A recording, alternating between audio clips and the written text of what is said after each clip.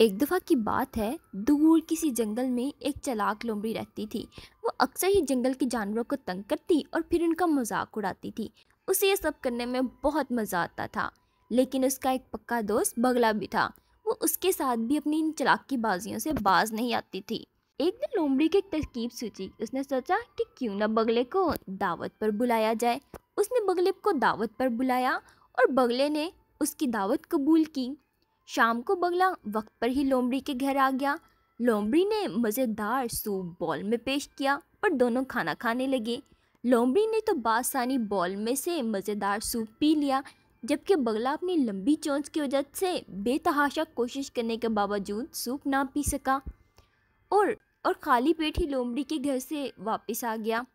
उस रात बगले ने सोचा कि क्यों ना लोमड़ी को एहसास दिलाया जाए कि जो उसने किया वो बहुत गलत था। बगले ने अगले दिन लोमड़ी को दावत पर बुलाया और मज़ेदार मछली का सूप बनाया। लोमड़ी भी बगले की तरह वक्त पर ही दावत पर पहुँच गई थी। बगले ने मज़ेदार सूप लंबी बोतलों में पेश किया और मज़े ले लेकर लोमड़ी के सामने सूप पीने लगा। जबकि लोमड़ी कुछ भी ना कर सकी, वो बेतहाशा कोशिश करने के बावजूद सूप नहीं पी पा रही थी, क्योंकि उसकी बगले की तरह लंबी चोंच नहीं थी। उसने बहुत कोशिश की, मगर वो सूप पी ना सकी। उस दिन लोमड़ी को एहसास हुआ कि उसने जो बगले के साथ किया, वो बहुत गलत था।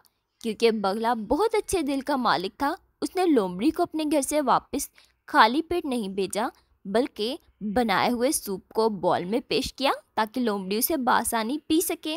इस तरह लोमड़ी को अपनी गलती का एहसास भी हो गया और उनकी दोस्ती और भी गहरी हो गई तो इस कहानी से प्यारे दोस्तों हमें क्या सबक मिलता है यही कि जैसा आप दूसरों के साथ करोगे बिल्कुल वैसा ही आपके साथ भी होगा इसीलिए हमेशा दूसरों के साथ अच्छा सलूक करो Thanks for watching friends.